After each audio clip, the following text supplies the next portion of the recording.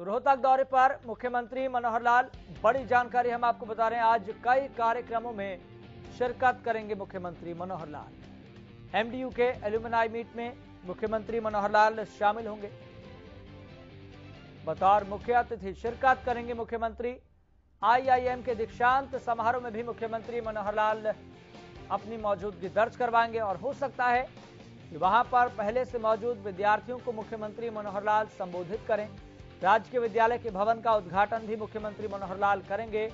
भाली आनंदपुर गाँव में राजकीय विद्यालय बना है।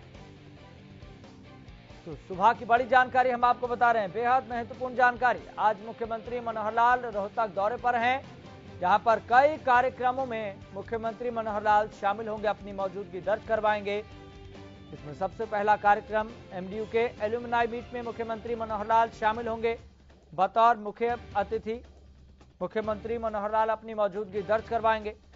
आईआईएम के दीक्षांत समारोह में भी मुख्यमंत्री मनोहर लाल शामिल होंगे। ज़्यादा जानकारी के साथ मेरे सहयोगी हर्षवर्धन जुड़ गए हैं।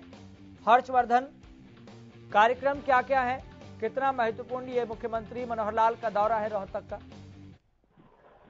देखिए यश मैं आपको बताना चाहूँगा कि सूबे के मुख्यमंत्री जो है, देर शाम को ही जो है रोहतक पहुँच गए थे। और उसके बाद जो है, आज की अगर हम बात करें तो लगभग साढ़े दस बजे के करीब जो है एमडीयू के टाइगर ऑडिटोरियम में पहुँचेंगे। और एल्यूमिनी मीट की जो 2022 की है, उसके अंदर बतौर मुख्य अतिथि शिरकत करेंगे। इसके बाद लगभग साढ़े ग्यारह या पौने बारह बजे के करीब जो है आईआईएम के दीक्षांत समारोह के अंदर जो है, मुख्य अतिथि के तौर पर भाग लेंगे। और वहाँ पर जो है, छात्रों को डिग्रियाँ भी वितरित करेंगे।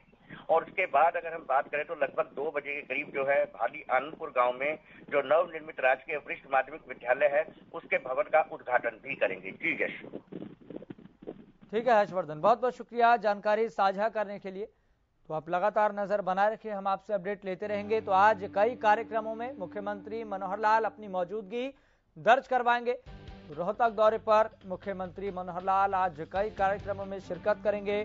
बतौर मुख्य अतिथि एमडीयू के एलुमनाई मीट में शामिल होंगे। आईआईएम के दीक्षांत समारोह में मुख्यमंत्री मनोहर लाल अपनी मौजूदगी दर्ज करवाएँगे। राज्य के विद्यालय के भवन का उद्घाटन करेंगे। राज्य के विद्यालय भाली आनंदपुर गाँव में बना है।